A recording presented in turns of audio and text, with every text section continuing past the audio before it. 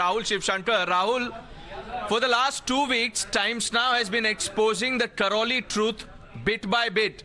And the man on the screen now, the Congress ally Matloob Ahmed, is caught on camera leading the riot.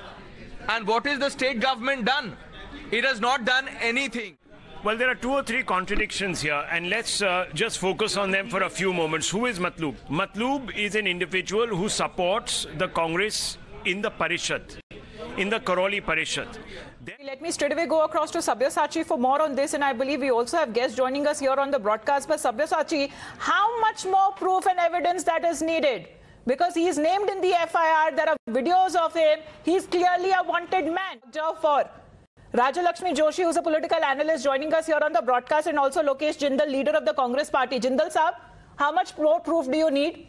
Because he's an ally of the Congress party. He's allowed to lead a riot and then go scot free. No action will be taken, sir.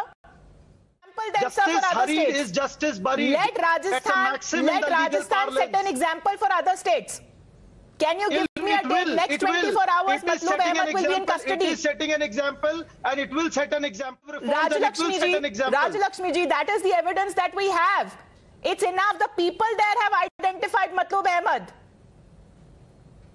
Uh, yeah, this actually, uh, I, I must say that Rajasthan is setting up a very fine example of anarchy, of how you know this uh, Congress government is using everything in its uh, everything in a book to create a situation of mayhem and to show that you know uh, there is this divide in the community. How how easily they can allow this? There was this hijab procession. There was this uh, anti-hijab uh, uh, whatever was happening. For that there was absolute peace. And that that happened in a very peaceful way.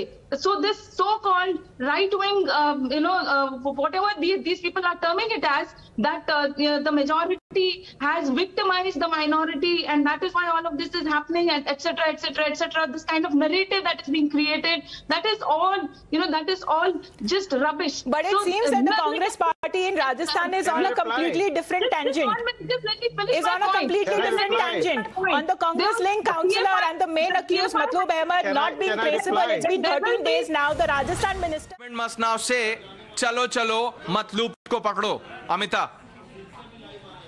Rajalakshmi, I believe you have uh, a comment to make as far as uh, you've been hearing all of the reactions that are coming in from the Congress party side. Yes, please go on. uh, Amita, it is actually shocking that you know this was a pre-planned violence, which you know uh, whatever we're talking about stones and patthar and all. If you actually go and uh, check the circumstances, you must have seen that they're not actually some so- small stones. They were huge bars of 10 to 15 kilos. That doesn't happen just by mere provocation, just like you had the catapult in another place. So, yeah, uh, Mr. Jindal, you can laugh all you want, but that doesn't change the fact. And it is, it is, it is shocking that you are laughing at such a situation. It is, it is really sad that you know your ministers are actually behaving so arrogant on national television, and they're asking how, how- why we are, we are asking questions about such things instead of getting into the um, root of the matter. You just uh, denying it by saying that nothing I of this don't sort understand, happened. Mr. Jindal, wow, what is there to smile about this entire... Thank you very much for the moment, Mr. Jindal and Rajalakshmi, for joining us here on the broadcast.